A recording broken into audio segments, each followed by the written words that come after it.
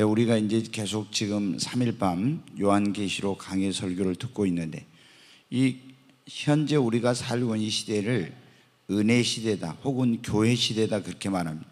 우리가 이제 지금 창세기에서부터 쭉 어, 출애굽기까지 이제 와서 하나님의 경륜과 구속사를 배우고 있는 어떤 시대는 보면 이제 우리가 족장 시대가 있었어요. 근데 지금 이제 이스라엘 백성들이 애굽에 내려가서 한 민족을 이루어 가지고 이렇게 이제 예, 거기서 이제 번성하니까 박해가 가해져 가지고 지금 출애굽을 준비하는 그런 과정을 배우고 있는데 이 세대주의자들은 이 성경을 뭐 일곱 세대로 나누기도 또 다른 사람들은 어떤 사람들은 네 세대로 나누기도 하는데 거의가 이제 공통적인 게 뭐냐면 지금 우리가 예수님이 2000년 전에 이 땅에 오셔서 우리를 구원하기 위해서 십자가 지시고 죽으시고 사흘 만에 부활하셔서 하늘로 가셨잖아요. 그리고 성령을 보내서 이 땅에 교회를 세우셨어요. 이 교회를 통해서 주님의 복음이 증거되고 그리스도의 몸인 교회를 통해서 예수님이 하셨던 그 일을 이제 하고 있는 겁니다. 이 시대를 교회 시대. 아, 예수님이 오시기 전에를 보통 사람들이 뭐냐면 율법 시대라고 그래요. 그때는 이제 율법을 지킴으로 구원을 받는 것은 아니지만 굉장히 율법이 중요했어요. 근데 지금은 우리가 은혜로 예수 그리스도의 십자가의 그 대속에 그 십자가의 공로를 믿음으로 말미암아 구원을 받기 때문에 은혜 시대다 혹은 교회 시대다 이렇게 말합니다. 그런데 이 교회 시대 마지막 때에 가장 어, 놀라운 일이 이제 뭐냐면 최종적으로 교회 시대가 끝날 때 예수님이 재림하심으로 이 교회 시대가 끝나게 되고 메시아 왕국이라고 하는 천년 왕국이 이 땅에 이루어지게 되는 거예요. 그래서 이제 예수님이 천년 동안 왕으로 통치하는 그런 일이죠. 그러니까 다니엘이 여러분 어느 날 아니 그 느부갓네살이 꿈을 꾸었잖아요. 그 꿈에 보니까 신상을 봤는데 머리는 뭐로 돼 있었어요? 금으로 돼 있고 그 다음에 양 가슴과 팔은 어떻게 돼 있었습니까? 이거는 은으로 돼 있고 그 다음에 이제 배와 이제 예, 넓적다리는 뭐로 돼 있어요? 동으로 돼 있었잖아요. 그 다음에 이제 두 다리 다리는 어, 쇠 철로 돼 있었어요. 그 다음에 열 발가락이 있었는데 그 열 발가락은 예, 네. 이 발가락은 뭐로 돼 있었어요? 철과 진흙으로 이제 돼 있었잖아요. 예. 그런데 보니까 그 환상 가운데 보니까 마지막에 산에서 뜨인 돌이 내려와 가지고 그 돌이 이 신상을 어떻게 돼요? 탁 쳐버리니까 이 신상이 완전히 산산 조각이 나서 부서져 버리고 그 뜨인 돌이 내려가지고 큰 어, 태산을 이루었죠. 그 이제 돌, 예, 돌, 이 돌이 큰, 이거는 이제 금은 뭐를 말합니까? 바벨론 제국, 은은 페르시아 제국, 배는 헬라 제국, 다리는 로마 제국. 이 다음 이건 이제 마지막 때 적그리스도의 제국이에요. 적그리스도. 어, 7년 대후 환란 때. 그런 그리고 나서 이 7년 대후 환란 적그리스도의 그 왕국을 누가 예수님이 예수님이 재림해 가지고 부셔버리고 천년왕국이 이루어지는 거예요. 그런데 이 지금 우리가 보면 어때 열발가락 시대 철과 진흙이 섞여 이 시대를 마지막 세상 왕국인데 적그리스도의 왕국인데 그때 이제 천이 예, 뭐가 있습니까? 7년 뭐가 있어요? 대환란이 있다고 했잖아요. 7년 대환란. 예, 근데 이제 이 우리가 보통 7년 대환란에는 세 가지 큰 어, 하나님의 재앙, 심판이 있게 된다고 했지 않습니까? 첫 번째 일곱 뭐예요? 인의 심판 있잖아요. 일곱 인 재앙. 예, 그리고 일곱 그 다음에 나팔 재앙. 아, 저녁 식사를 오늘 다 못하고 오셨죠? 네. 아마 이거 직장에서 다 오셔서 그런지 우리가 이제 이걸 보면은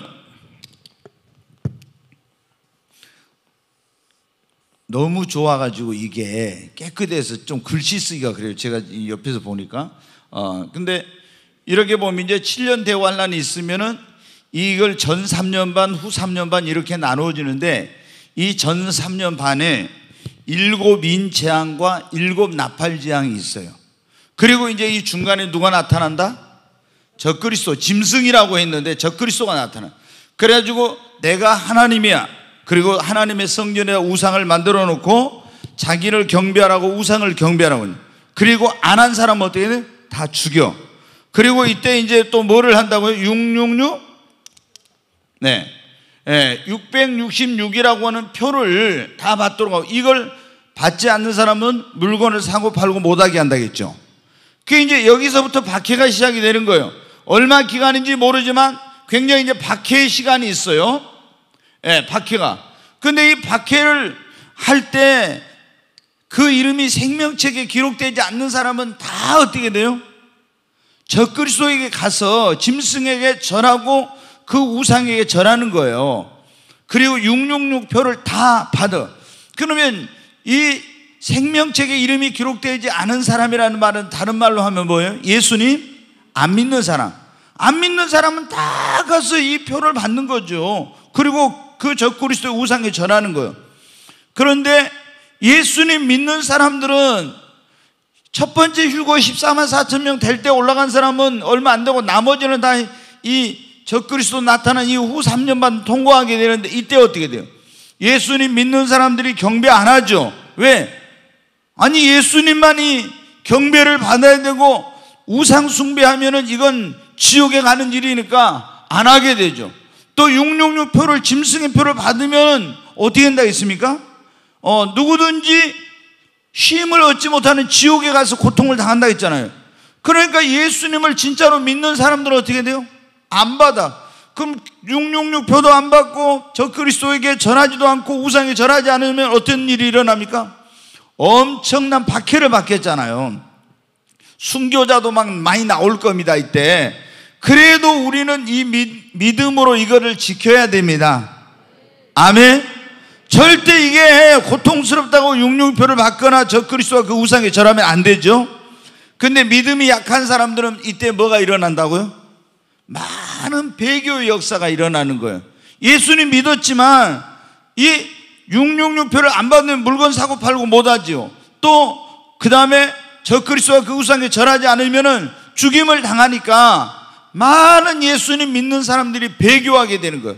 근데 이 기간이 얼마인지 모르지만 이 기간을 참고 딱 있으면은 예수님이 뭐 한다 했어요? 공중에 재림하신다. 다시 이제 말씀. 공중에 재림해가지고 추수가 두 번 있는데 먼저는 예수님을 믿고 구원받고 알곡이 된 신자들을 공중으로 어떻게 한다고요? 데려가는 알곡 추수가 있다고 했잖아요. 알곡 추수가 있고 그 다음에 이 땅에 악인들에 대한 포도송이 추수 심판이 있어요. 그 심판이 얼마나 무서운 심판인지 말굴레만큼 그 피가 흘려가지고 그 길이가 면적이 1600 스타디온 320km까지 뻗어나간다 했잖아요. 어마어마한 그런 일이 일어나는 엄청난 살육인. 근데 이 공중에 올라간 사람들이 요한계시록 우리가 15장 1절부터 5절까지 어, 4절까지 보니까 하늘에 있는 하나님의 그 어, 성전에 유리 바닷가에 서서 뭐를 합니까? 하나님의 검은고를 가지고 거기서 노래를 부르고 있는 내용이 나오죠. 무슨 노래를 부르? 하나님의 종 모세의 노래, 어린 양의 노래를 부르고 있다고. 이 노래는 뭐냐? 하늘에서 올라간 이 사람들, 천국으로, 공중으로 올라간 이 사람들이 거기서 구원의 노래, 승리의 노래를 부르고 있는 거예요. 그리고 그 환상을 딱 보고 난 다음에 하나님이 사도 요한에게 새로운 환상을 보여주셨어요. 오늘 이제 그 내용이에요. 새로운 환상을 딱 보니까 어떻게 돼요? 하늘에 있는 하나님의 증거 장막 성전이 쫙 열리는 거예요. 그리고 거기서 일곱 천사가 나오고 그 세마포를 입고 금 대접을 가든 네 생물 중에 한 사람이 나와서 우리가 보면 하나님의 보좌 앞에 네 생물이 있었잖아요. 요한계시록 우리가 4장, 5장 보면은 거기에 사도 요한이 천국에 올라갔는데 보니까 그 네 생물이 하나님의 보좌 앞에 섰을 때 24장로하고 네 생물이 하나님을 애배하고 있는 그런 내용이 있었잖아요. 그런데 그 네 생물 중에 하나가 하나님께로부터 나와가지고 금대접, 이 대접 심판을 하게 된 금대접을 일곱 개를 일곱 천사에게 갖다 주는 그런 내용이 지금 오늘 나오고 있어요. 그러니까 이 일곱 천사가 그 금 대접, 이제 일곱 대접 심판을 해야 되니까 마지막 심판인데 그 일곱 금 대접을 받아 가지고 심판을 이제 하려고 준비를 하고 있는 거예요. 그런데 그 성전에 보니까 하나님의 영광과 능력이 가득 차 가지고 연기가 가득해서 이 일곱 대접 심판이 끝나기까지는 아무도 들어가지 못하더라. 오늘 이렇게 나와 있어요.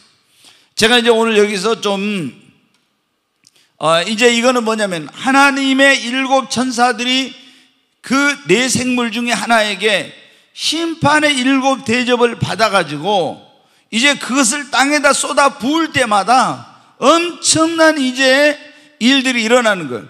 그러니까 우리가 보면은 어, 일곱 인 심판은 그 이 심판의 대상이 4분의 1이었어요. 그런데 일곱 나팔 대접을 심판할 때는 3분의 1이 죽고 막 이런 3분의 1이 불타고 3분의 1이 피로 변하고 이런 거였어요. 근데 이제 이 일곱 대접 심판을 할 때는 어때냐? 모든 온 지구가 다 전 세계적인 그런 사건, 어떤 한 지역에 국한되는 것이 아니라 이런 어마운, 그러니까 이 일곱인, 일곱, 대, 나팔, 일곱 대적 갈수록 어떻게 돼요? 그 심판과 재앙의 강도가 더 강력해지는 그런 내용이 나오고 있어요.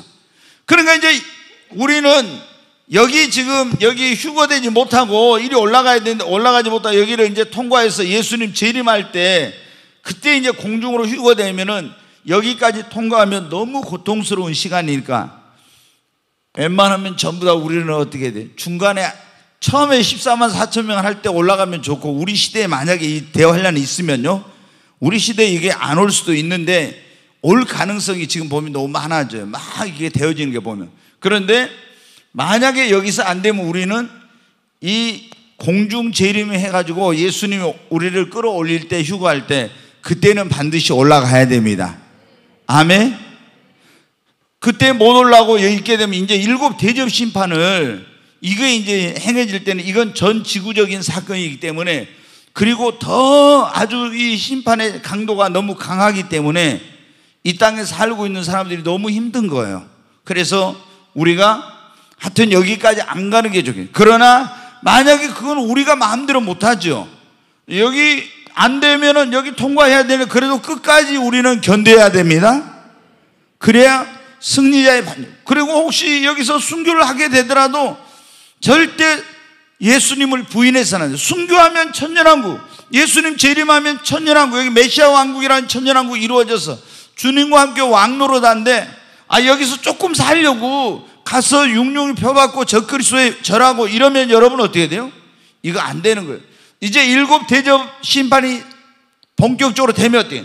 첫 번째 대접을 딱 부으면은 제가 그건 다음 주 이제 수요일 날 하겠으면 이, 이 짐승에게 경배하고 그 우상에 경배하고 666 표를 받은 자들에게 독한 종기가 나요.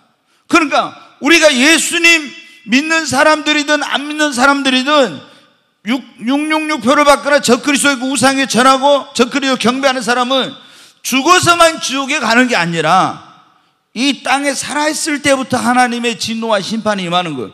그러니까 아, 뭐 금방 막 안 죽으려고 이게 물건 매매 못하면 그게 두려워서 가서 잠시 그걸 어떻게 살아야 되겠다고 표받으면은 여러분 그게 괜찮은 것 같지만은 금방 상상할 수 없는 죽음보다 더 고통스러운 그런 게 오는 거예요. 그러니까 어떤 일이 있어도 우리는 이 짐승, 적그리스도를 짐승이라고 적그리스도와 그 우상을 경배하거나 666표를 받아서는 안 돼요.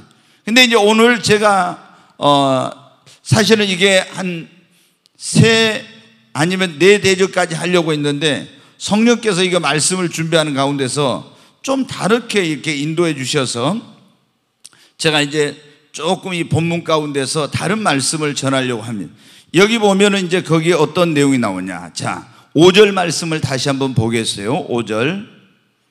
네, 같이 읽습니다. 또 이 일 후에 내가 보니 하늘에 증거 장막의 성전이 열리며 여기 보니까 하늘의 증거 장막의 성전이 열린다고 나오죠. 증거 장. 여러분 어디서 좀 많이 들어본 것 같지 않습니까? 신천지 뭐라고요? 예수교 증거 장막 성전. 그러죠. 그러잖아요. 네. 신천지가 신천지란 말은 거예요. 새 하늘과 새 땅이란 말이죠. 신천지 에, 증거 장막 성전. 이렇게 이제 그 사람들이 교단 명칭을 자기들 그 명칭을 그렇게 했어요. 예, 신천지. 아 하나 빠졌네 제가. 신천지 또 여기다 뭐는 예수교. 참 그래도 예수교라고 또 그래요 신, 예, 예수교. 신천지 예수교 증거 장막 성전.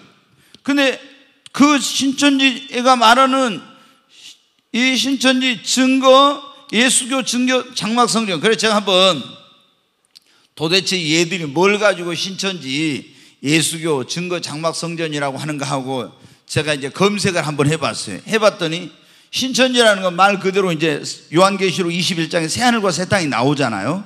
이제 거기 이제 그걸 말. 그 다음에 이제 자기들이 예수교다 이거 예수교. 그래서 예수교를 붙여. 그 다음에 이제 증거 장막 성전. 예. 이게 이제 이거를 보니까 어디 있어요? 요한계시록에 여기서 따온 거예요.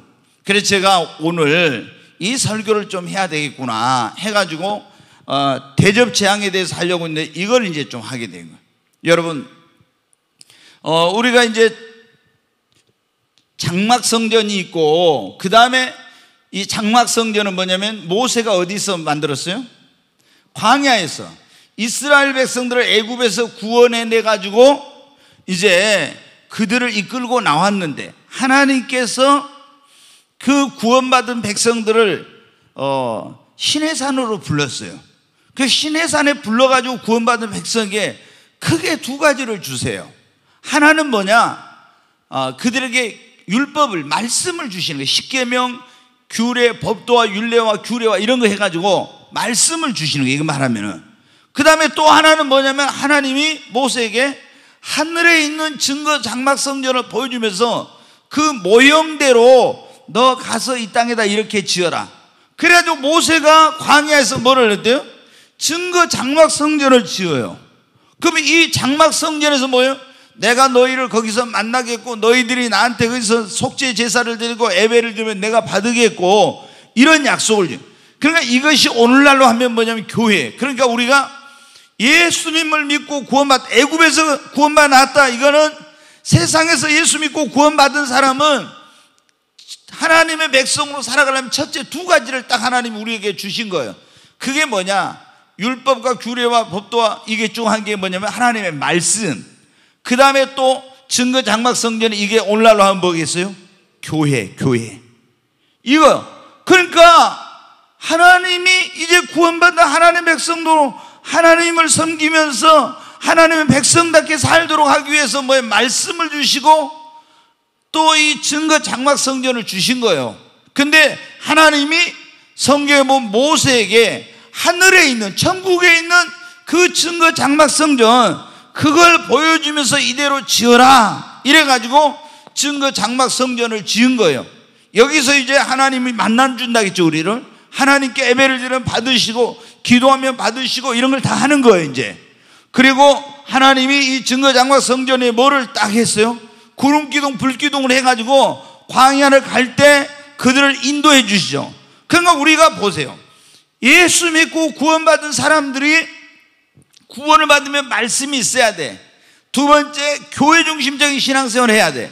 그리고 뭐를 따라가야 돼요? 구름기둥, 불기둥은 뭐예요? 성령의 인도. 성령의 인도를 받아야 구름 기둥, 불기둥을 따라가야 방어하지 않고 어디 적과 꾸는 가난 땅에 갔죠. 반드시 이게 있어야 되는 거예요. 근데 사람들이 이걸 모르는 사람들은 뭐예요? 무교회주의. 야, 뭐, 우리가 예수님 그냥 믿으면 우리 몸이 성전인데, 뭐, 교회 예배드로 갈 필요 없어. 그리고 뭐예요? 요즘 뭡니까? 코로나 이 현상 때문에 뭐라고 합니까? 그냥 집에서 인터넷으로 예배 드리면 되지. 유튜브로 하면 되지. 교회까지 갈 필요 있냐? 그러니까 이런 굉장히 잘못된 이런 사람들이 있고 이랬는데 이런 하나님의 놀라운 이런 걸 모르니까 그런 거야. 네. 근데 신천지는 뭐라고 한다고 했어요?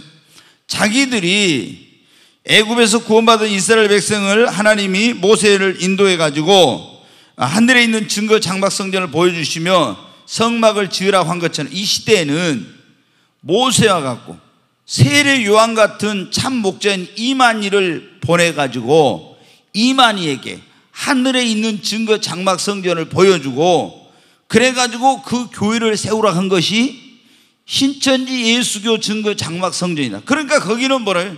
대한 예수교 장로 이렇게 안 하고 뭐라고요? 신천지 예수교 증거 장막 성전 시온교회 그랬죠. 목포. 왜? 시온산에 보니까 그 14만 4천 명이 올라서 새 노래를 부르고 있었잖아요. 이 사람들은 시온산을 뭐라고 하냐면은 산이 이런 뭐 유달산, 백두산 이런 거기서 말하는 산이 아니다. 이거는 교회다, 교회.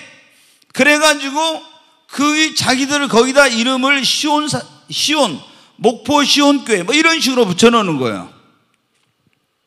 자, 여러분. 그래가지고 이제 이 증거 장막 성전이라고 그들이 하는 거예요.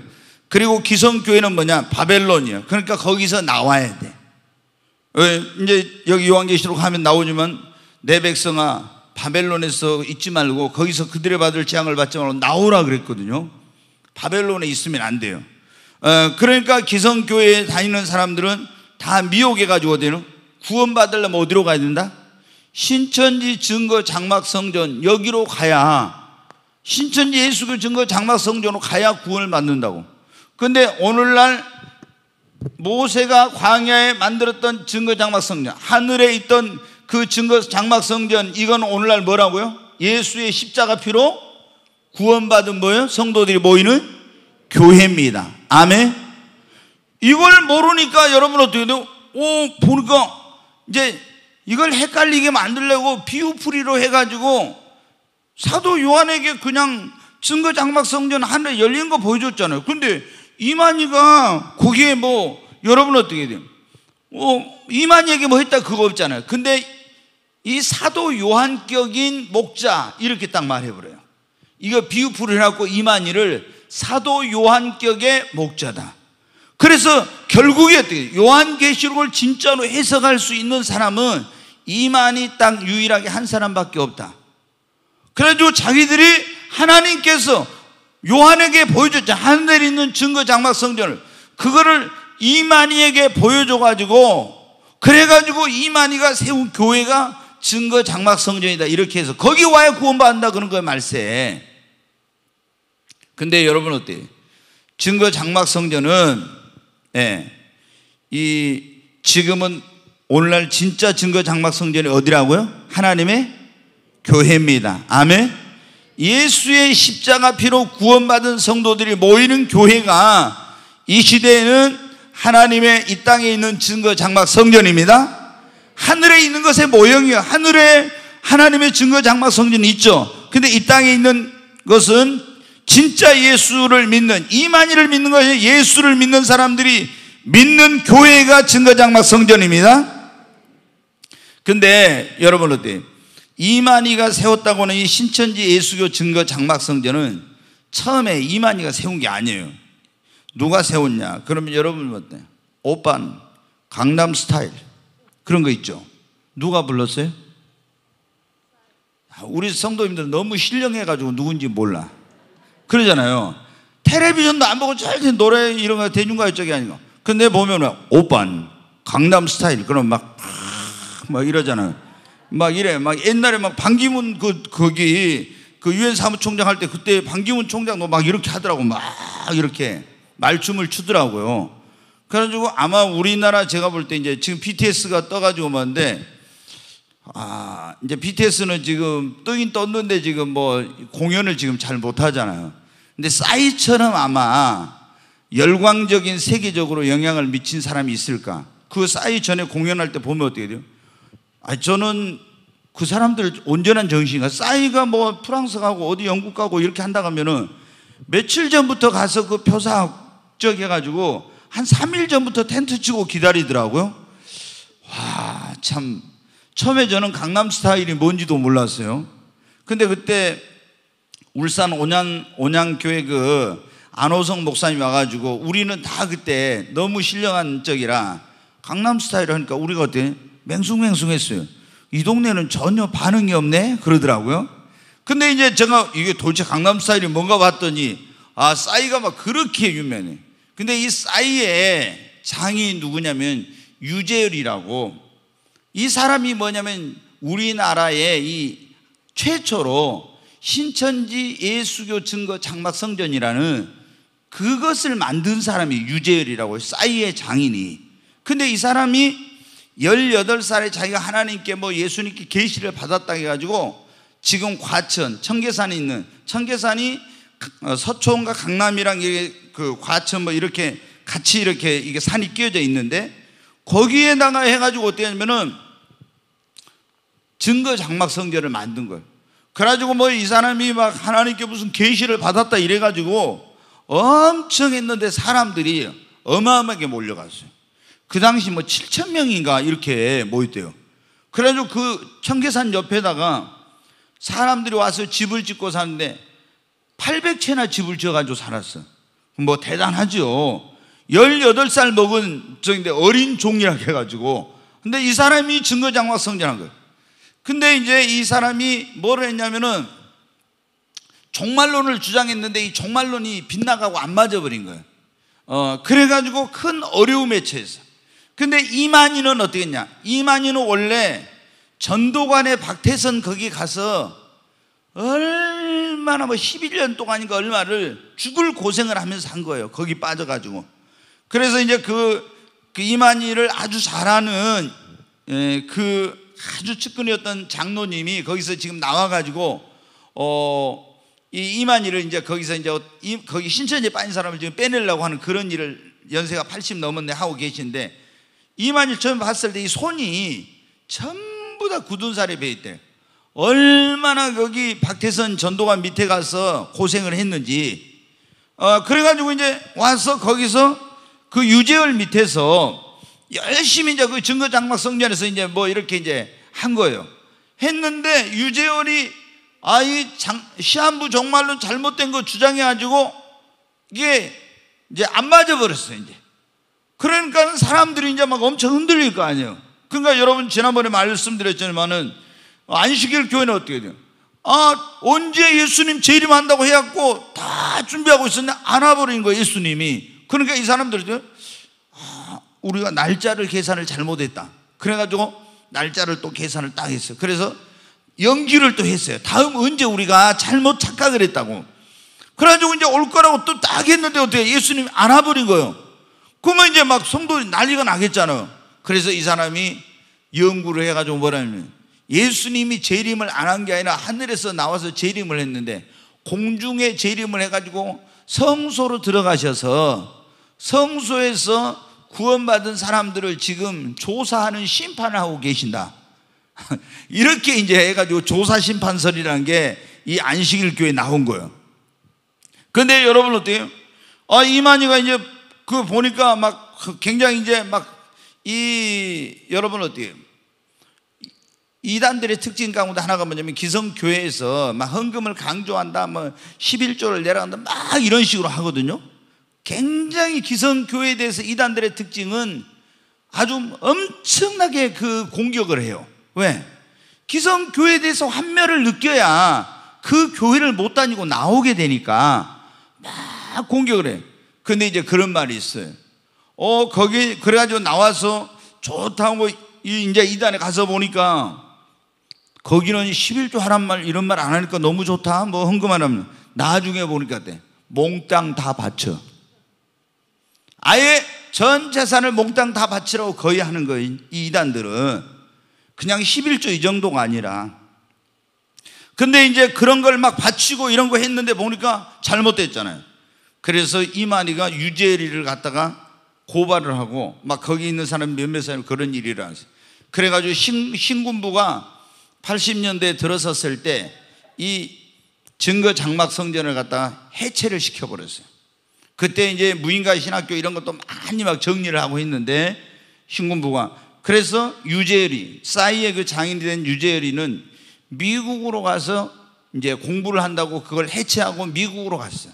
그 지금 이제 갔다 왔는데 나는 이제 지금은 나이가 뭐 돌아가시는 죽었는 것 같지는 뭐 돌아가셨다는 뭐.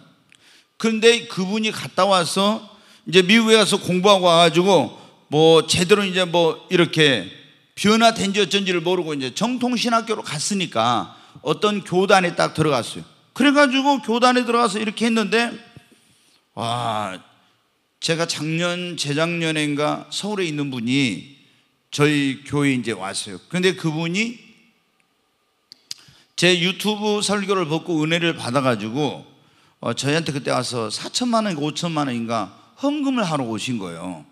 근데 헌금을 하고 어 이렇게 이제 그분하고 이제 그 대화를 하는데 그 남편께서 어디 교회를 갔냐면은 유재열이 있잖아요. 유재열 그 교회를 다니는 거예요. 그 이분은 이제 강남에 있는 어떤 큰 교회를 서초에 있는 큰 교회를 다니고 대형 교회를 다니시고 계신데 이 거기를 그 남편이 나가고 있는. 그래서 톡 영적으로 안 맞아가지고 너무 힘들어서 고통스러워요.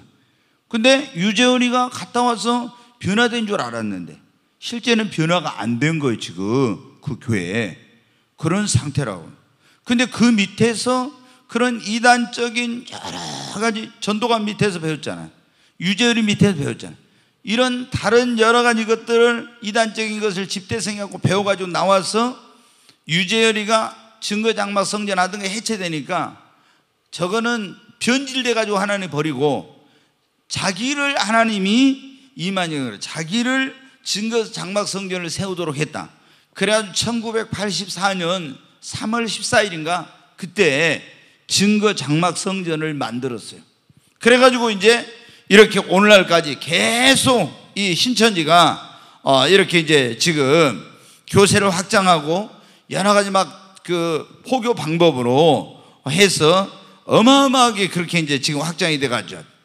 여러분 이단들의 이제 이 특징 특징은 뭐냐면 오직 자기들에게만 구원이 있다 이렇게 가르쳐. 다른 데는 절대 구원이 없어. 그러니까 여기 이단에 빠졌던 사람들이 나오잖아요. 다른 데를 못 가요. 왜? 첫째는 기성 교회에 대해서 계속 부정적인 걸 세뇌를 시켜놨잖아요. 세뇌를 시켜놓으니까 기성 교회를 가지 못하는 거예요. 신천지를 안 나가더라도 여호와의 증인을 안 나가더라도 못 가. 왜? 어 그래가지고 이제 이 사람들이 그러더라고. 신천지 다니다가 나온 사람 안식교 다니다 나온 사람들이 안식교에서 기성교를 바벨론이나 못 가고 어디로 가냐?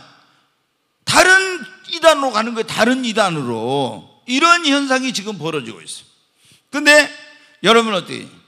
구원은 어떤 교회에 있는 게 아니라 누구를 믿음으로? 예수님을 믿음으로 구원을 받는 겁니다.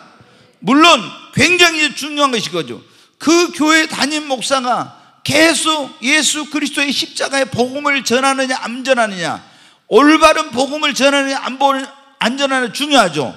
다른 복음 성경에 보면 다른 복음을 전하면 저주를 받는다고 그랬잖아요. 잘못된 복음을 전하는 교회 다니면 구원받을 확률이 그만큼 적죠.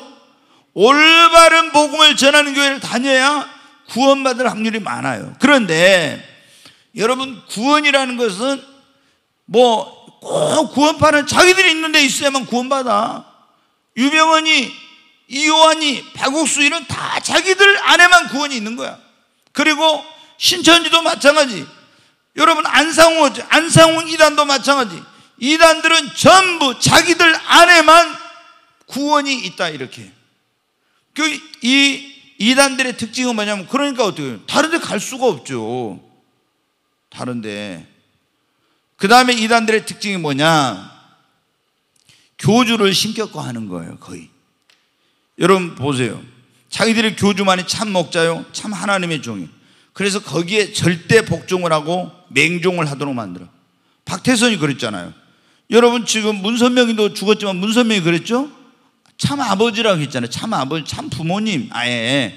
예. 그리고 그러니까 거기는 보세요. 문선명이 합동 결혼식 할 때 3만 뭐 3만 쌍씩 하잖아요. 막 이렇게도 기네스북. 근데 한 번도 얼마나 정말 여러분 보세요. 일본에서 그때 지금 그 통일교회 어떤 사람은 결혼하기 위해서 통일교회 간 사람도 있어요. 우리나라 사람들이. 노총각들이 결혼을 못 하니까.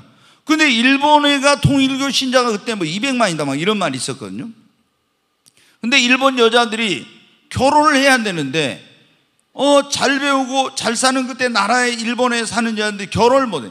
근데 우리나라에 막 이렇게 있잖아. 못 배운 사람들, 가난하고 이런 사람들하고 결혼을 하는데 어떻게? 한 번도 얼굴 본 적도 없는데 문선명이 누구하고 누구하고 결혼해라 하면은요 그거로 끝이요. 그래서 합동 결혼식 할 때 그 잠실 운동장 이런 데 가서 그날 가서 신랑 신부 얼굴을 보는 거예요. 그렇게 가지고 결혼식을. 근데 이게 왜 그래요? 완전히 그 교주를 신격화하니까 그런 거예요. 신격화. 그리고 지금 이만희도 얼마나 신격화합니까? 안상욱이를 얼마나 신격하고 정명석이 얼마나 신격하고 다 이단들의 특징은 뭐냐면 신격화를 하는 게 거의 교주를. 그리고 대부분 이단들이 뭐냐 시한부 종말론을 주장해.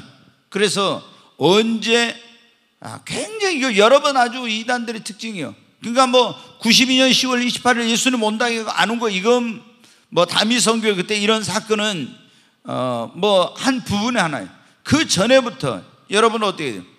이 조금 전에 말씀드린 제칠 안식일 교회, 제칠 안식일 재림 교회라고 그러죠. 그 교회도 여러 번 그랬어. 그래가지고 막 소 잡아먹고 뭐 잡아먹고 다 잡아먹고 있잖아요. 예?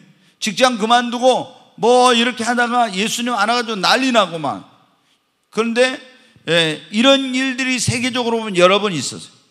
근데 이게 뭐냐면 시한부 종말론을 주장해요. 그리고 어, 또 뭐라냐면 14만 4천 명은 꼭 자기들의 숫자다. 이단들의 특징이 이거예요. 그, 그 숫자가 곧 채워가니까 빨리 여기 와야지 이 숫자 차버리면 종말이 온다 아니면 예수님 온다 이렇게 되니까 막 조급하게 사람을 만드는 거예요. 그래가지고 어, 누가 뭐라 해도 빨리 거기 가야 된다. 그리고 자기 가족을 인도해서 구원해야 된다 해가지고 거기에 빠지게 만드는 거예요.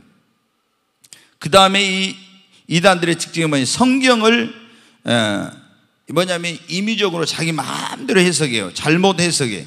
그뭐 비유풀이나 이런 거 있잖아요. 막 이런 식으로 성경을 어, 해석해. 또 아니면 통일교회는 예, 이 거의 이단들마다 이런 게 있어요. 성경보다도 자기들의 교주가 만든 어떤 교리집 같은 그런 게 있어요. 신천지는 뭐냐면 계시록의 실상이라고 해가지고 이만희가 만들어 놓은 그런 게 있어요. 그 다음에 통일교는 원리강론이라는 게. 그 다음에 몰몬교. 마릴 성도 예수 그리스도의 교회라고 하죠.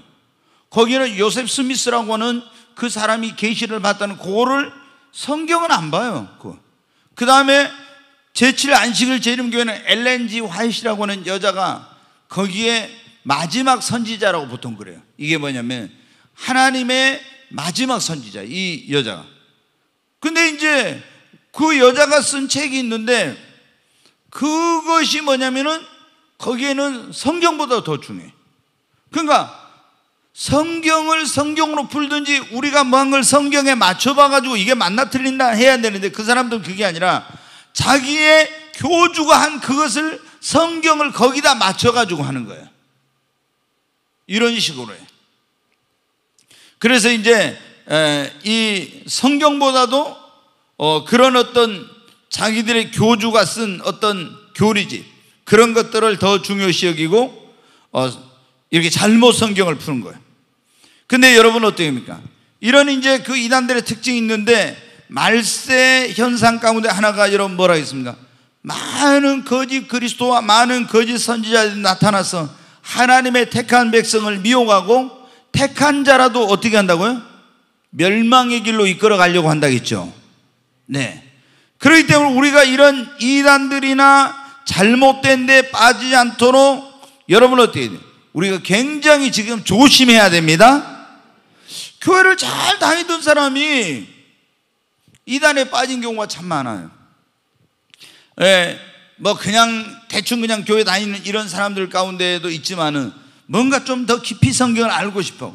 뭔가 영적으로 갈급하고 목마르고 또 채워지지 못한 거, 교회에 대해서 좀 불만이 있거나 이런 사람들이 많이 이단에 빠지거든요. 예, 여러분 어떻게 우리가 이단에 빠지면 어떻게 합니까? 그 사람 구원 받아요? 못 받아요? 못 받아. 지금 예수님을 믿고 구원 받았을지라도 이단에 빠지면 멸망일로 가는 겁니다. 멸망일로. 여러분, 이단에 빠지면 멸망일로 가죠. 그 다음에 어떻게 됩니까?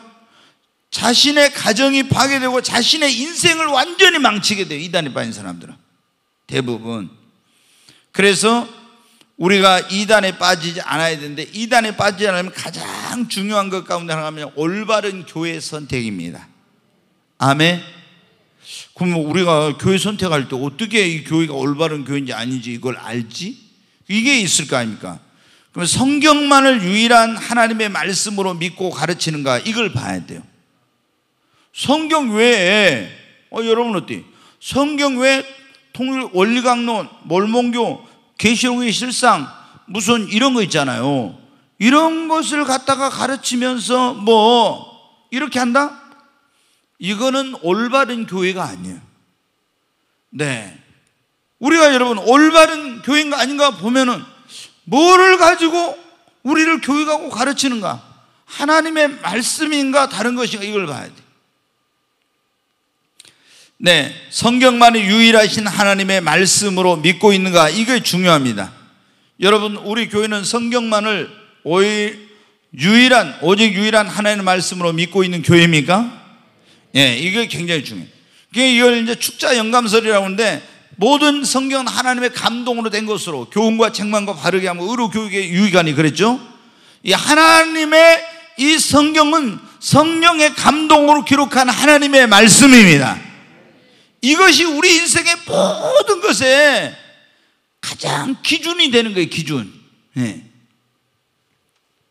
그 다음에 이제 이 교회가 올바른 교회인지 아닌지 어떻게 알아요? 예수 그리스도의 십자가 그 피공로를 통해서만 구원받을 수 있다고 가르치느냐 하는지 이걸 봐야 돼요. 아, 예수님의 십자가 피공로로 구원받는 게 아니라 안식교에서 그런단 말이에요. 예수님이 옛날에는 그것도 안 했는데 막 너무 이단이라 하니까 뭐냐면 예수님이 십자가 피로 구원 받는다 그래놓고 뭐라고 하냐면 안식일 안, 안 지키면 구원 못 받는다 그래요. 안식일 안 지키면 구원 못 받아. 그거하고 여러분 틀려요. 그러잖아요. 그러니까 우리가 이, 이 구원을 어떻게 받는가? 우리가 여러분 보세요. 이만희를 통해서 참 목자를 통해서만 구원 받는다? 박태선이를 통해서만 문선명의 피가름 교리를 통해서 피가 깨끗해져야만 구원받는다? 이거는 뭡니까? 이단이요. 그런 거 가르치는 그런 구원론을 가르치는 교회는 잘못된 교회예요. 그리고 그런 거 아니고 예를 들어서 우리가 대한예수교 장로에 이렇게 정통교회 간판을 달고 있는데도 불구하고 요즘 어떻게 그런 교회들 가운데 WCC에 들어가가지고 거기서 세계 기독교 교회 협의 그 무당들, 잡신들, 이단들, 공산주의자, 동성애주의자 이런 것들 다 모이는 그런데 연합해가지고 있으면서 뭐를 동성애도 동성애자도 구원받을 수, 동성애도 뭐 지지한다? 목사들 가운데 이런 사람들 많거든. 그 다음에 종교다원주의. 아니, 교회만 구원받는 것이 아니라 예수 피로만 구원받는 것이 아니라 다른 종교에도 구원의 길이 있다. 대한예수 장로의 간판다는 그렇게 가르치는 목사들이 있다 이 말이에요. 그런 교회는 어떻게 돼요? 잘못된 교회예요. 여러분 오직 구원은 누구로? 예수로만 구원받습니다. 근데 지금 보세요. 아니 지난번에 어떤 감리교 목사가 이 사람이 뭐였냐면 퀴어 축제할 때 동성애자들 축제할 때 가서 뭐 그때 축도에 축복기도에 했어요. 축복기도. 어, 축복기도를 했어. 근데 왜 이런 이 사람이 감리교 목사가 해? 제가 가만히 생각해 보니까 이 감리교에 예전에 이런 사람이 있었어요. 변선환이라고 학장이었어요. 감리교 신학대학. 그 다음에 홍정수라고 또 목사가 있었어요. 홍정수. 이 사람들 있잖아요. 아, 예수로만 구원받는 게 아니라 다른 것으로 구원받을 수 있고 이런 걸 이 신학대학교 학장, 교수 또 한 사람 있었네. 이런 사람들 가르친 거예요. 그러니까 얼마 전에 돌아가신 금난교회 옛날에 여러분 어때요? 이제 이화여대 학장이 김한란 박사를 그 세웠던 금난교회인데 거기에 그 담임 목사였던 김홍도 목사님이 감리교는 이제 총회장을 감독회장이라는 감독회장을 할 때 이 변선한 이제 학장 목사이면서 학장이죠 교수죠 홍정수를 또 한 사람 세 사람을 잘라버렸어요. 학교에서 요즘 같으면 하기 어려워요. 예, 근데 이제 얼마 전에도 이상한 걸 가르치는 교수를 기독신학대학에 거기 그 학교에서 파면을 시켰는데 소송을 해갖고 이겨갖고 또 지금 복직한다고 난리. 이게 근데 그때 이 변선아나 홍정수 이것들 보면 순 마귀 새끼들이죠. 그러잖아요.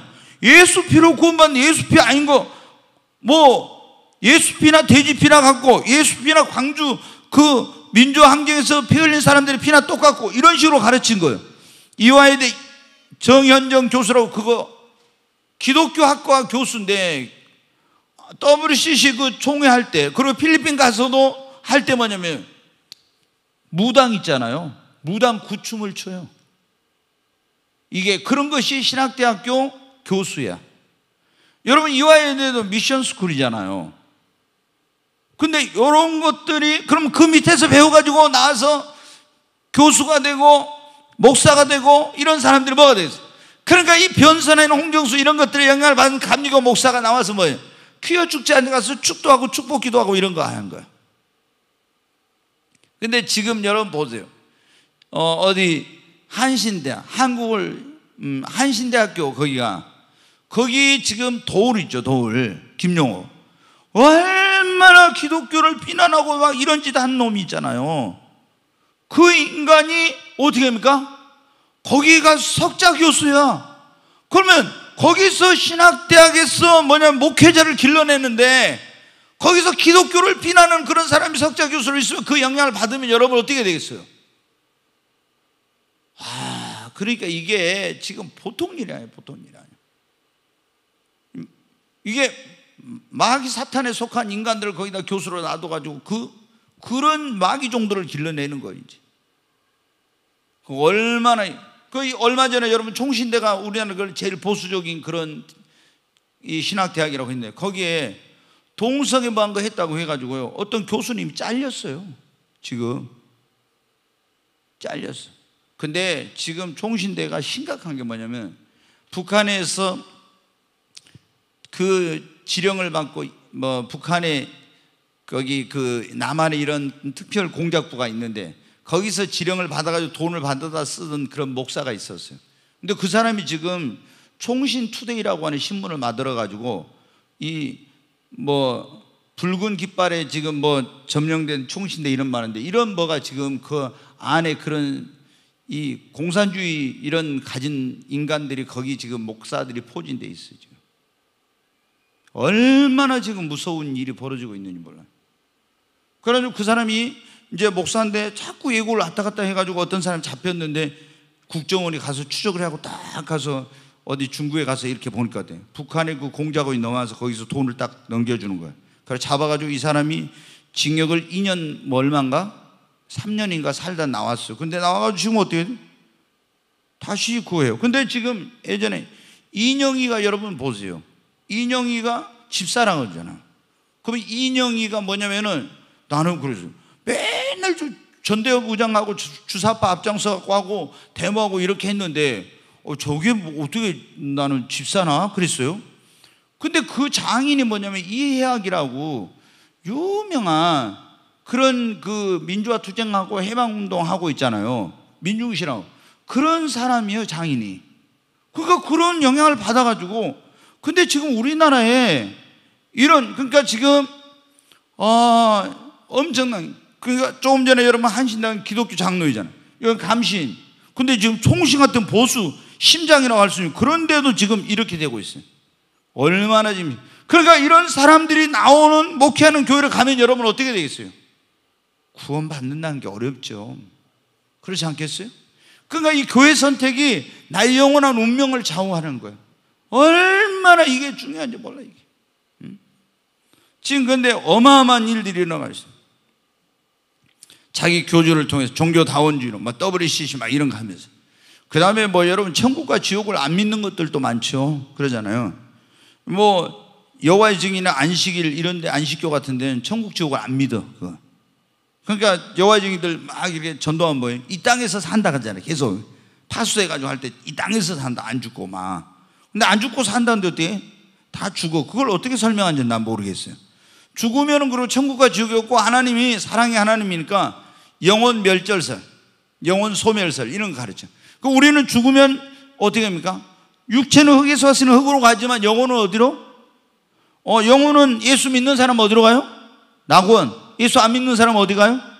음부에 가 있잖아요.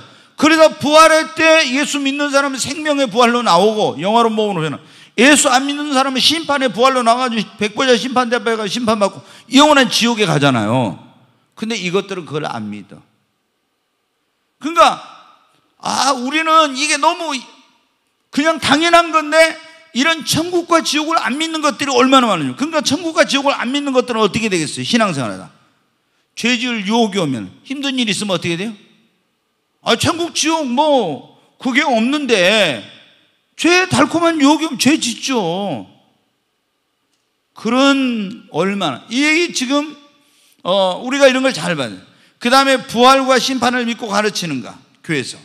천국 지옥을 가르치고 부활과 심판을 가르치는 요즘 여러분 교회들이 우리는 맨날 복음을 전하고 천국과 지옥에 대해서 말하지만 요즘 교회들이 설교가 여러분 어때? 천국 지옥 말 안 해요 거의. 뭐만 얘기하냐? 윤리적이고 도덕적인 설교. 지금 코로나 시대라 맨날 이거 위로하면 설교만 해. 천국과 지옥에 대해서 말하지 않고. 왜? 지옥을 간다 안 믿으면 구원받지 못 이러면 사람들이 안 좋아하거든. 그러니까 천국 지옥 설교 그러니까 그런 말이 있어요. 지옥에 대한 설교를 더 많이 했으면 지옥 가는 영혼이 많이 줄어들었을 건데 지옥에 가는 설교를 안 하니까 지옥에 가는 영혼이 많다는 거예요. 그러니까 여러분은 또 올바른 교회인가 아닌가? 이거 보면 천국 지옥을 바르게 설교하고 있는가? 그걸 믿고. 부활을 가르치고 있는가 그 다음에 하나님의 심판에 대해서 우리가 여러분 심판도 어떻게 됩니까? 그냥 믿는 자 안 믿는 자 이런 선악의 심판만 있는 게 아니잖아요. 예수 믿는 사람은 어떻게 돼요? 구원받은 사람은 백보자 심판대 앞에는 안 가지만 상급의 심판이 있습니다. 그러니까 우리가 예수 믿고 구원받았으면 적당히 신앙생활하면 열심히 해야 돼요. 왜? 우리는 영원한 상급을 받아야 되니까. 아멘? 근데 이런 걸 너무 몰라요. 너무 몰라. 그냥 열심히 그냥 교회 다니면 되지, 이러지. 그 다음에 예수 그리스도의 재림에 대해서 가르치는 교회인가? 이런 설교를 안 하거든. 특히 시한부 종말론론에서 그 92년 10월 28일 날 이게 예수님 온다는 게 이제 불발되고 난 다음에 어, 종말에 대해서 예수님 온다고 하면 아이 막 또 시한부 종말론으로 오해를 받지 않을까 이런 생각 때문에 여러분 그런데 이게 다 마귀의 전략이에요. 마귀의 전략. 그러니까 우리는 그런 걸 두려워하지 말고 성경에 있는 걸 해야 돼. 예수 그리스도께서 다시 오신다고 했잖아요. 여러분 믿습니까? 네, 이걸 우리는 올바른 교회는 바르게 성경대로 가르쳐. 그 다음에 예수님 믿게만 하면 되는 것이 아니라 우리는 성화된 거룩한 삶을 살아야 된다. 이런 걸 가르치는 교회가 올바른 교회입니다. 그리고 성령 충만을 받고 영혼 구원에 힘을 쓰는 교회가 여러분 올바른 교회입니다. 늘 깨어 있고 기도하도록 하는 교회가 올바른 교회입니다. 뭐 교회들 보면요. 예전에 어떤 분이 그랬잖아. 몇 년 전에 우리 교회 왔는데 주일날 예배만 끝나면 목사님이 어때요? 성도를 데리고 어디로? 막 어디 맛있는 거 먹으러 어디로 야외로 맨날 주일날 예배만 끝났다 하면은 이리저리 그걸 가는데 이런 것만 했다는 거예요. 지금도 그렇게 하는지 모르겠어요. 여러분, 아니, 우리가 이제 주일 성수, 어, 옛날에는 진짜 물건 하나 사고 팔고도 안 했잖아요. 몇십 년 전만 해도. 근데 지금은 이제 그런 어떤 율법적인 개념은 아니지만 그래도 주의를 어떻게 해야 됩니까? 경건하게 거룩하게 보내고 막 세속적인 그런 오락을 하면서 이런 걸 하면 안 되잖아요. 그러니까 우리가 음, 깨어서 기도하고 그리고 기도하도록 성도 하고 있는 교회인가? 우리가 이런 것을 이제 보고 교회 선택해요. 그 다음에 이제 교회 선택할 때 가장 아니 우리가 내가 마지막 때 이단이나 잘못된 거기에 빠지지 않으려면은 첫째 교회 올바른 교회 선택이 중요하다 했죠. 두 번째는 목회자를 잘 이제 만나야 되겠죠. 정통 교회라 할지라도 목회자를 잘못 만나면 큰 문제입니다. 자, 우리가 감리교, 어, 대한기독교 감리, 그 다음에 한국 기독교 침례, 뭐 이제 정통, 대한예수 장로회, 뭐 대한 기독교 성결교회 뭐 이런 식으로 이제 다 뭐 오순절 그 대한 하나님의 성회 순복음교회 이런 식으로 정통교회 그런 교단이라 할지라도 그 거기에 속한 교회라 할지라도 그 교회 담임 목사가 어떤 사람이냐 이게 이제 너무 중요한 거예요. 정통적인 교회라 할지라도 여러분 어떻게 돼?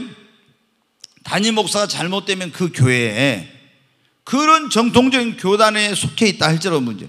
우리가 이제 보통 목회자를 잘 만나는 첫째 정통 신학교에서 건전한 신학과 이런 공부를 했는가 이게 이제 중요하겠죠. 좀 전에 제가 말씀드렸잖아요. 동성애를 지지하고 종교다운주의를 지지하고 좌파에 빠진 이런 어떤 뭐 불교나 유교나 어디에 다 구원 있다고 이렇게 하는 데서 가르침을 받고 그런 신학교를 나온 사람이 우리 교회 목사로 왔다 해봐요. 어디에?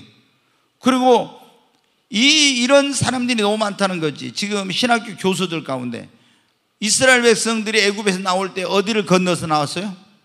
홍해를 건너서 나왔는데 홍해를 건넌 것은 그거는 진짜가 아니다. 이런 신학교 교수들 가운데 그 어떤 갈대 숲이 있는데 얕은 곳으로 해가지고 그 건넜지. 어떻게 홍해가 갈라져가지고 건넜냐?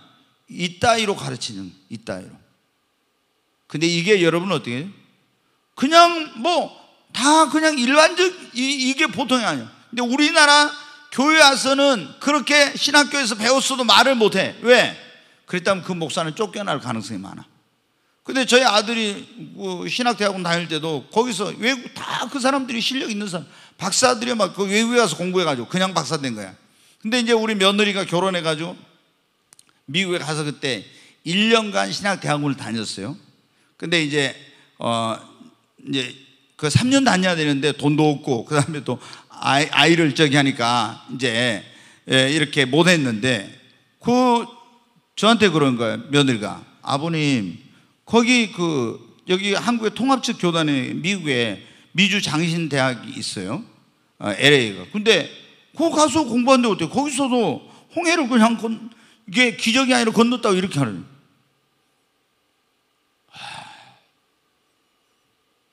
만약 우리 교회에 와서 그러면 어떻게 돼요?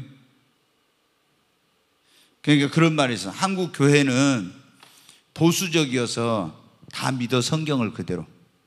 근데 이런 자유주의 신학을 배우고 잘못된 이런 걸 배워가지고 온 사람들이 한국 교회에 와서 강단에 그런 가르침을 쫓겨나니까 그런 거 못 한다 그런 말이 있어. 근데 여러분은 얼마나 그러니까 목회자가 이 중요한지 몰라. 우리의 영원한 운명을 잘 구하자. 여러분 보십시오. 여러분 부모님 잘 만나야 돼. 신랑 잘 만나야 되겠죠? 그리고 친구도 잘 만나고 선생님 잘 만나야 돼. 가장 중요한 게 뭡니까? 내 영혼이 천국 가냐 지옥 가는 데 있어서는 목회자를 잘 만나야 됩니다. 그러잖아요. 아니, 내가 신랑 잘못 한평생 고생할 수 있어? 그냥. 아, 부모님 잘못 만나면 내가 성장할 때 고통스러운 과정을 거칠 수 있어. 그렇지만 목회자 잘못 만나서 잘못된 가르침을 받으면 내 영혼 지옥 가서 영원토록 형벌을 받게 돼요. 얼마나 이게 중요한지. 그 목회자를 잘 만나요. 정통적으로 우리나라 이제 보통 이단들이 대부분 교주들이 뭐예요? 거의 가방끈이 짧아요. 거의 배운 게 별로 없어. 이단들, 교주들이. 그리고 공부도 많이 하지 않고 여러분 어때요? 제가 이제 그 이만님 뭐 설교한 거 영상 그때 전에 보면 어때요? 야, 얼마나 무식한지.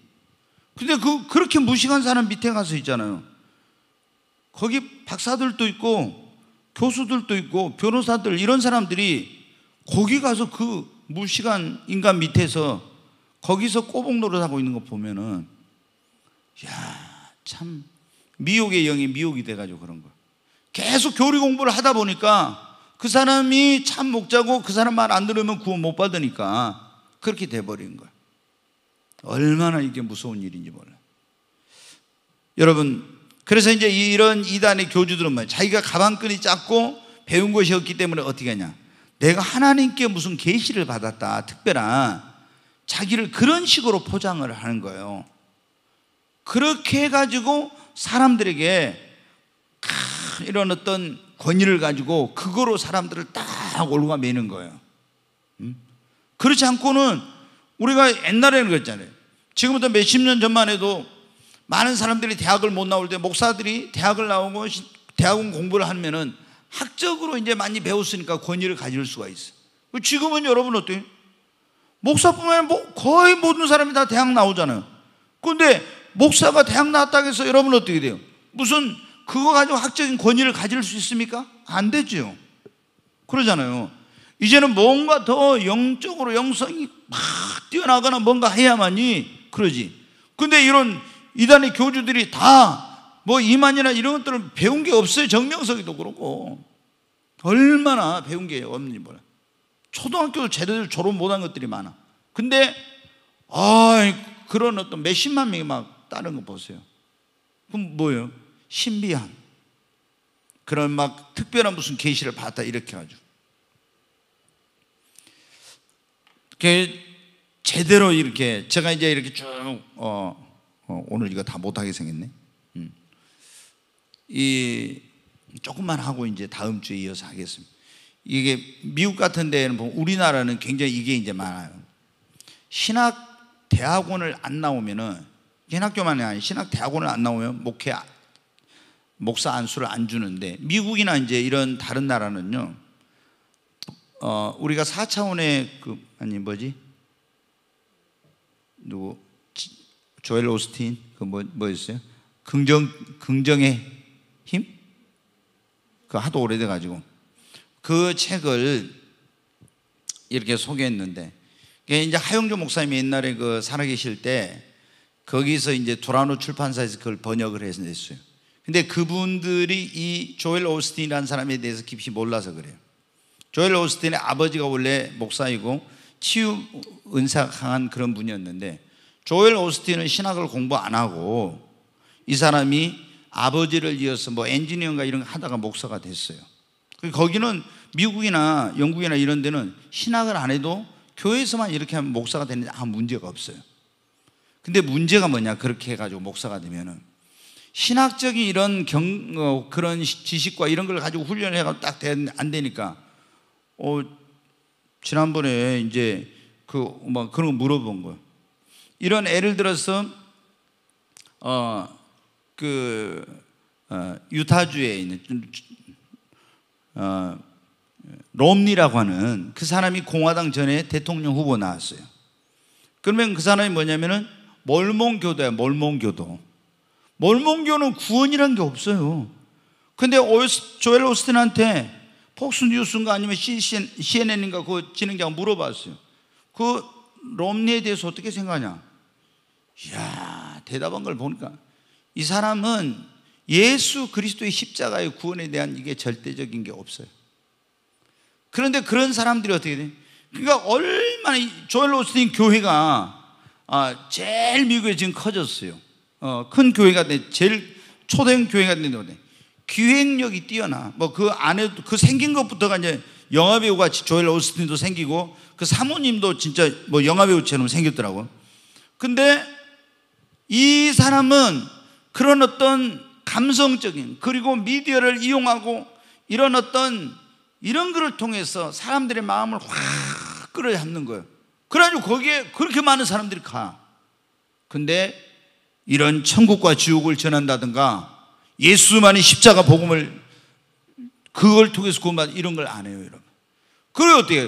그 사람 책이 우리나라의 긍정의민가 그책 써가지고 뭐 얼마나 많이 찍어냈는지 몰라요. 저도 그분에 대해서 잘 몰랐어요. 긍정의 보고 아유 참 좋다 책 그랬는데 이 그런 어떤 믿음의 어떤 그런 게 아니에요 이게.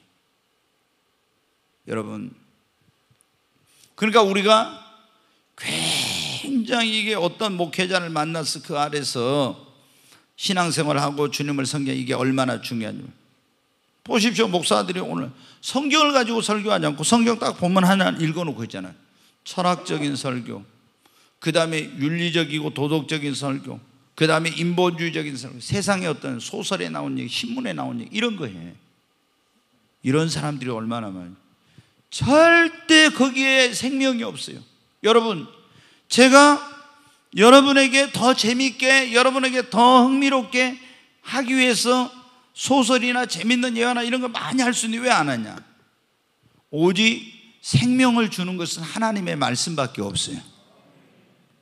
말씀만 본 말씀만이 영원해요. 천지는 없어져 내 말은 없어지지 않고 1.1도 땅에 떨어지지 않는다 했잖아요. 그래서 오직 여기서 강단에서 하나님의 말씀만 전하려고 하는 거예요. 다른 거 안 하고. 아무리 우리가 감동적인 예화를 들어도요. 한 번 들을 때 너무 감동, 어떤 눈물이 나. 근데 두 번, 세 번 계속 들으면 어떻게 돼요? 아무리 놀라운 극적인 그런 그 간증도요. 감동이 없어. 근데 하나님의 말씀은 여러분 신앙생활 여기 몇십 년 하신 분들 계신데 아무리 듣고 또 듣고 지난번에 한 거 또 듣고 또 듣고 해도 어떻게 돼요? 실정이 안 나. 그리고 아 지난번에 들었던 말씀이 또 들었는데 또 나한테 감동이 돼. 하나님의 말씀만이 생명 있고 능력이 있습니다. 아멘. 네. 우리가 정말 이 목회자를 잘 만나야 된다. 명예나 물질을 탐하지 않고 영혼 구원에만 진짜 힘을 쓰는지 봐봐야 돼. 제가 이제 한 가지만 말씀드리고 마치. 제가 요즘 이번에 이제 코로나 사태 속에서 이제 어떤 신천지부터 통해서 쭉 이래가지고 지금 막그 어떤 부분들이 막 드러나고 있어요. 한국 교회에 좀 어떤 어려움이 되고 있는 부분들이 그런 단체나 교회. 그런데 지금 애국운동 광화문에서 해가지고 했던 분들 있잖아요. 여러분 그거를 잘 정신 차리고 뭐예요. 저도 처음에 아, 좋게 생각을 했어요. 근데 지금은 제가 굉장히 안 좋게 생각을 해요. 왜 그러냐? 그 그때 막뭐 100만 명 모인 막 어쩐지 했잖아요. 근데 내가 이렇게 딱 보니까 그 많은 사람들한테 여러분 중요한 것이 뭔가 예수 그리스도의 십자가의 복음이 복음. 자, 그 이제 막 공사나 될것 같으면 빨리 우리 저 어, 문재인 가서 끌어내고 막 어쩌고 막 하는데 이제 우리가 아무리 의도가 좋아도 주님이 그랬잖아요. 제자들이 주님한테 와서 어, 이 나라를 회복하시면 어느 때입니까? 이렇게 물었죠. 그때 이스라엘이 어떻게 돼요? 로마의 식민지였잖아요. 그러니까 이스라엘 백성들에게 지금 소망은 뭐예요? 빨리 해방되는 거죠. 근데 예, 이 나라를 회복하시면 어느 때입니까? 그러니까 예수님 뭐라 했어요? 그것은 때와 시기는 너희 아버지께 맡기고 너희에게 성령 임하면 너희는 권능을 받아가지고 에루살렘과 온 유대와 사마리아 땅까지 가서 뭐 하라? 내 증인 복음 전하라겠죠. 여러분 그리스도인의 가장 큰 사명은 애국이 아니라 복음을 전하는 거예요. 아멘. 우리는 예수님 믿는 사람이니까 나라와 민족을 위해서 우리가 기도하고 애국해야 됩니다. 그렇지만은 여러분은 올바른 방법으로 애국을 하고 애국보다 더 중요한 것은 이 땅에 난 나라는 영원한 것이 하나님의 나라를 여러분 전해야 됩니다. 근데 지금 보면요. 너무나 잘못된 마가 하나님 까불지 마. 막 이런 식으로 한다. 또 이번에는 다 무슨 성경에 나온 여자들은 다 창녀들이었다는 등.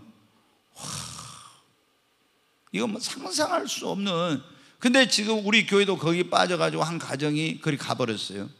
근데 지금 여러분 가운데 내가 혹시 그걸 계속 보고 있다 보면 그 세뇌가 돼. 저는 이제 이렇게 보면요. 아니, 강단에서 이승만을 막 추앙하고 박근혜를 추앙하고 박정희를 추앙. 여러분 다 공과가 있어. 그렇잖아요. 잘한 거 있고 못한 거. 근데 장기 집권 해가지고 독재하고 잘못된 거 삼성 개헌하고 막 이런 거 다 잘못됐잖아. 얼마나 많은 사람들이 그때 피를 흘리고 또 죽어야 되고 이런 일. 뭔가 잘한 것은 우리 나라를 건국할 때 잘한 것은 그 잘한 대로 인정하고 경제 발전 잘한 건 잘한 대로 인정하고 뭐든 그런데 강단에서 여러분 어떻게 왜 그분들에 대해서 예배 시간에 그런 사람들에 대해서 예수님만 전해야 되는데 아멘. 근데 여러분 어때요? 거기 있는 사람들은 완 완전히 거기 세뇌돼 가지고 너무나 많은 사람들이 지금 세뇌돼 가지고 거기에 지금 잘못된 길로 가고 있어요. 이게 얼마나 잘못됐는지도 모르고. 그래가지고 제가 한번 쭉 봐서 얼마나 복음을 언제 한번 전하나. 나는 복음, 십자가 복음 전한 거 한 번도 못 봤습니다. 근데 그런 걸 모르고 거기 계속 듣다 보니까 세뇌돼 가지고. 얼마나 지금 한국 교회 자기는 한국 교회를 살리고 이, 민, 이 나라를 살리려고 한다고 하지만 얼마나 잘못됐는지 몰라요. 그러고 보세요. 그때 막 당을 만든다고 해가지고 기독 무슨 당이랑 무슨 금방 또 해 막 이렇게 합치고 하나님이 어디가 금방 이렇게 만들었다가 또 금방 해갖고 막 이렇게 다 그 서로 막 이렇게 갈라서고. 하나님이 그렇게 하겠어요?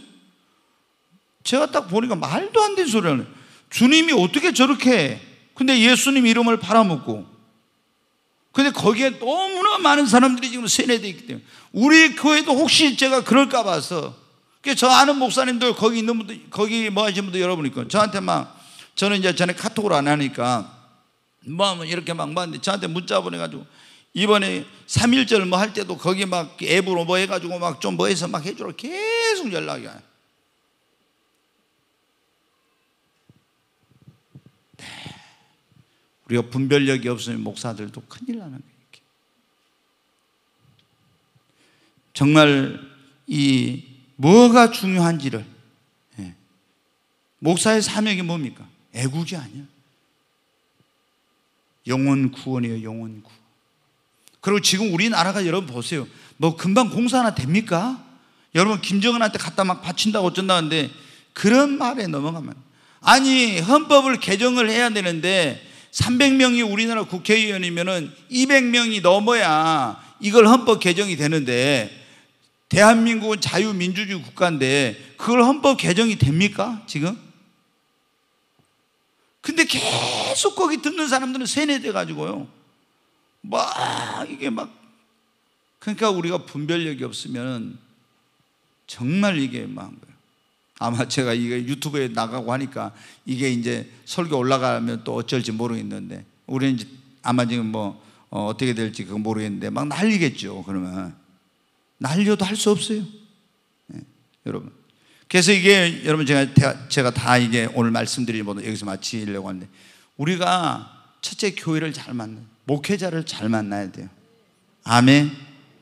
하, 나름대로 열심히 신앙생활을 했다고 했는데 나중에 내가 구원받지 못하고 잘못된 길로 가면 얼마나 여러분 억울한 일이 음, 얼마나. 자, 이 증거장막 성전에 나와서 오늘 제가 신천지가 자기들이 하나님이 세운 신천지 예수교 증거 장막 성전에 순적은 종교 사기꾼들이 거기 나온 신현욱이라고 하는 인자였던 사람이 교육장을 했던 이만희는 종교 사기꾼이다. 그리고 거기 자기가 그 다른 남편 있고 자식 있는 여자를 꼬셔가지고 해가지고 했던 그 김남희가 거기서 살다 나와서 다 간증했잖아요. 폭로했잖아요. 뭐 거기 음성까지 다 나왔어요. 여보 내가 잘못했어. 아니 하나님이란 사람이 막 김남희한테 잘못했다고 내가 다 저기 할 테니까 나 용서해 주고 막 돌아오라고. 아이고. 근데 무슨 저기 이만희가 무슨 안 죽고 영생해요. 어? 그리고 뭐가 이만희가 여러분 참 목자고 영혼이 근데 거기에 벌써 여러분 어때? 20만 명이 넘는 사람이 거기 빠져 있고 해마다 지금 몇십만 명이 막 이런 사람들이 교육받고 얼마나 지금 문제입니까? 하나님이 이번에 이제 예, 그 코로나를 통해서 이제 터트려 가지고 지금 좀 주춤하고 있는데 여러분 우리가 정말 내 영혼을 지켜야 됩니다.